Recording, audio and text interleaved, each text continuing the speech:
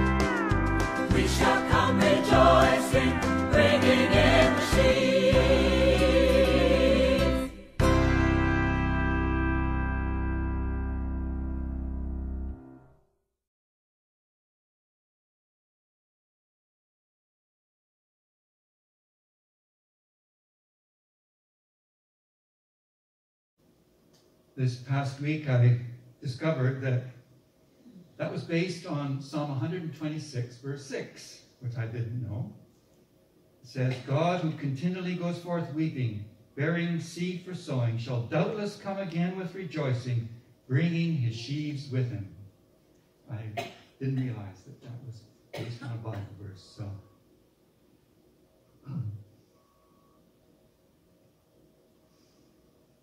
Our scriptures today, there's two of them, both from Matthew. First one, Matthew chapter 5 verses 13 to 16, and Matthew 28, 16 to 20.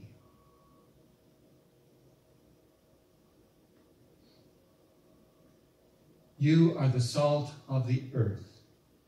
But if salt loses its flavor, how shall it be seasoned? It is then good for nothing but to be thrown out and trampled under the feet of people. You are the light of the world. A city that is set on a hill cannot be hidden. Nor do they light a lamp and put it under a basket, but on a lampstand, and it gives light to everyone in the house. Let your light so shine before people that they may see your good works and, give, and glorify your Father in heaven. And then the last verses of the Gospel of Matthew, chapter 28, 16 to 20. Then the eleven disciples went away into Galilee to the mountain which Jesus had appointed for them. And when they saw him, they worshipped, but some doubted. Then Jesus came and spoke to them, saying, All authority has been given to me in heaven and on earth. Go therefore and make disciples of all the nations, baptizing them in the name of the Father, and of the Son, and of the Holy Spirit, teaching them to observe all things, whatever I have commanded you. And lo, I am with you always, even to the end of the age. Amen. The Word of God.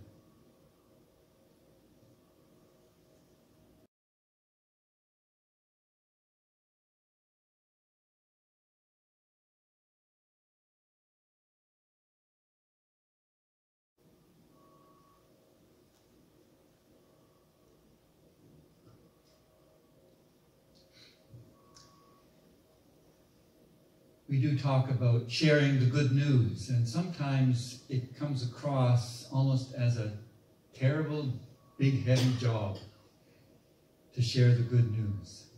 And the good news is sharing the good news is good news. And it's not hard work.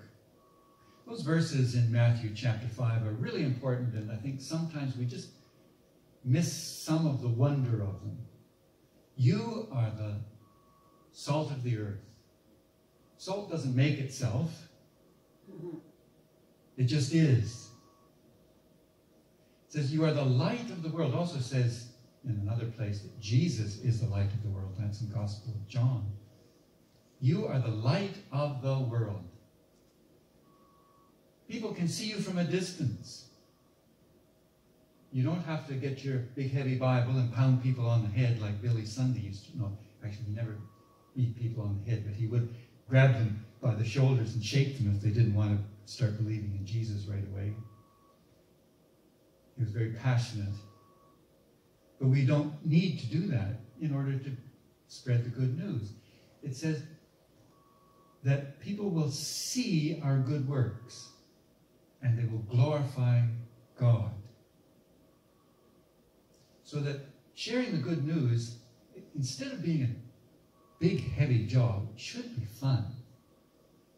I mean, I think living for Jesus is, well, I wouldn't call it fun. It gives us a life of peace, but it can be sometimes far from fun in the social sense. But the Spirit is in us and lives out through us like a light so that if we turn the switch, the lights come on. Well, we don't have to turn each bulb on. We just turn the switch. Well, at least somebody does. Stephen's here getting us ready all the time. And so this is what sharing the good news is just living with Jesus every day, every moment of every day. And yes, if somebody asks a question of you or you have a chance to say something nice about God, that's okay. But we aren't under some kind of great heavy burden that we have to do something for Jesus every moment. We just have to live with Jesus and people can see that. It's kind of like, I think, in some ways, the military.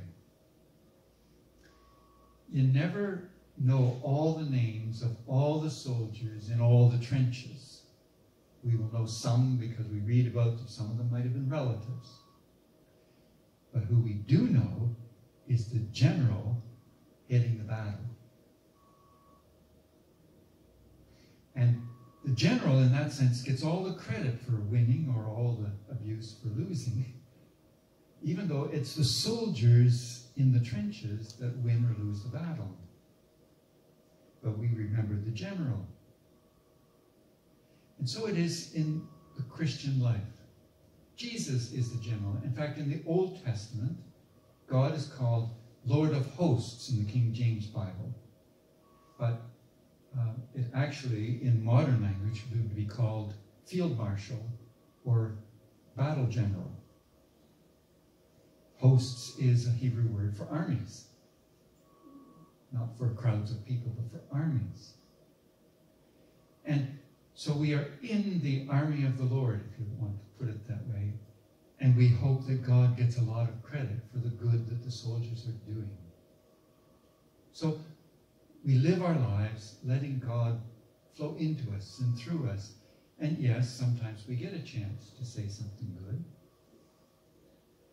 And we'll take the chance when it comes. But we aren't compelled to speak to 20 people a day about becoming Christians. I mean, if you are called to do that, please go ahead and do that. But that's not our real calling for the good news. Live with Jesus. Jesus is real. And sometimes I think Jesus becomes kind of an idea instead of a real being in our lives. And then at the end of Jesus' ministry, it says Jesus told them to go to Galilee. And they got there and they gathered and they waited. And then it says Jesus came to them and spoke to them and said, All authority in heaven and on earth is given to me. That we serve the one who has the final authority, the final say in everything. And so said, Because I have the authority in heaven and earth, go. Go and make disciples of all the nations and baptize them and teach them. So we make disciples, we baptize, and we teach. Now, almost everybody's taught somebody something, whether it's baking in the kitchen or in a classroom or wherever it is. I enjoyed the time that I was teaching at university. Uh, especially appreciated people coming into the seminary as a second or third career. You know, they were old people like me. Because the young people, when they came into seminary, the question they would ask would be, what do I need to do to get an A? And I would just say 10 classes and do your work. but people came in with life experience we'd be talking about something and they'd look at me and say, why is that important? Which is a wonderful question. Because then it gives you a chance to get the meat of what it is you're teaching, and not just facts and figures. And so all Jesus wants us to do is walk in faith. Let the Holy Spirit through. And live as though every moment mattered. And I will close with this. I don't know how many times in my years, decades of ministry, people come to me and say, like, I don't know how to share my faith. How I, I didn't go to university. Some didn't even finish high school. How do I convince people that God is real? And my answer was always the same every time. Tell your own story. You don't need a PhD to tell your own story. And there's no point in you telling somebody else's story in a way because it's their story. You've got a story of what you've seen God do and what you've heard God say and how you experience God. That's just being light, just being salt. It's all it is. Amen.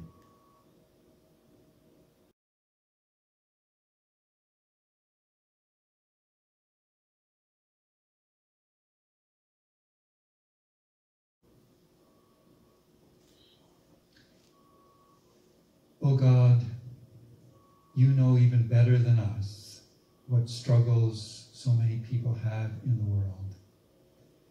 And how those struggles sometimes draw them to you and sometimes they use them as an excuse to run away from you.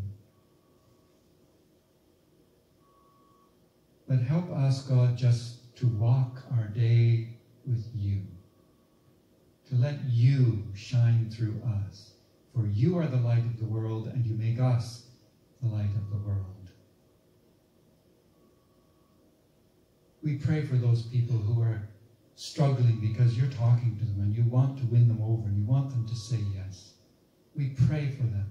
We pray that their hearts and souls might be softened by the work of the Spirit, that they would say yes and know what it is to live a life of faith, to have peace that passes all understanding. And we pray, O oh God, for those people who have already said yes, those among us, and those around us, and those in our families. May they rediscover the joy of serving Jesus. That they would know that all they need is tiny, tiny faith to be able to live their lives for you.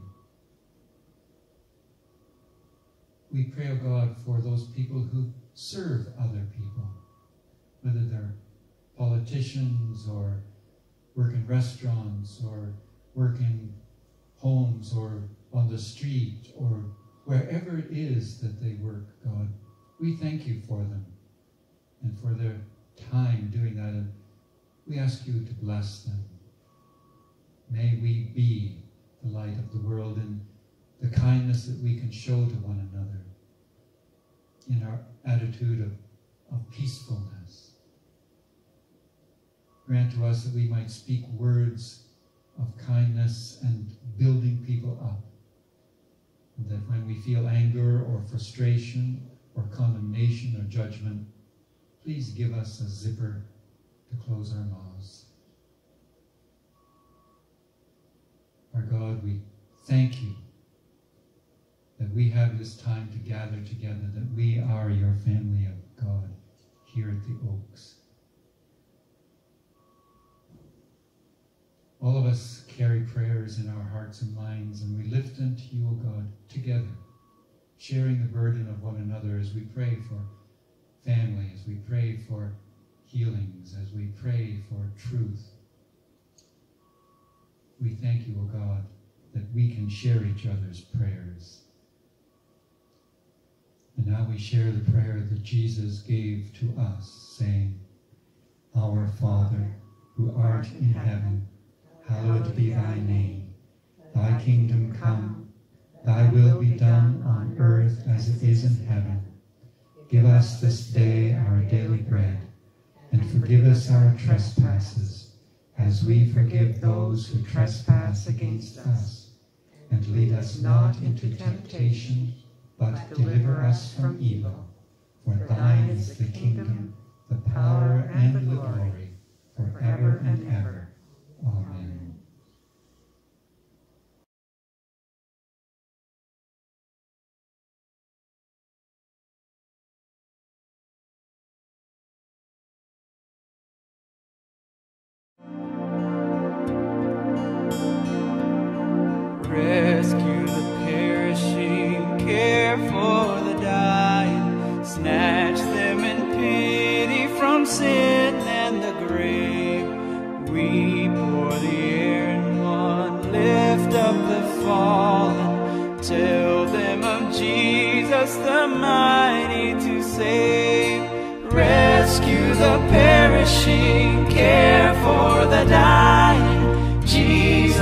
Merciful, Jesus will save.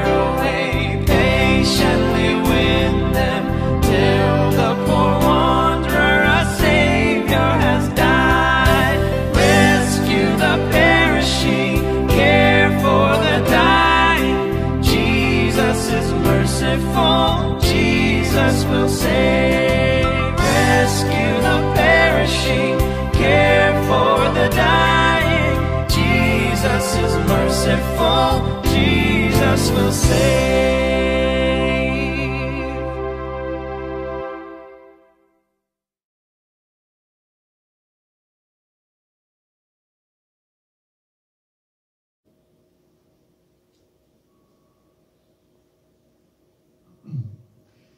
The Lord will give you strength for your labor. The Spirit will direct you and comfort you. God, who has created us, will never abandon us. Go in this confidence that you are the salt of the earth, you are the light set on a hill. Go in peace.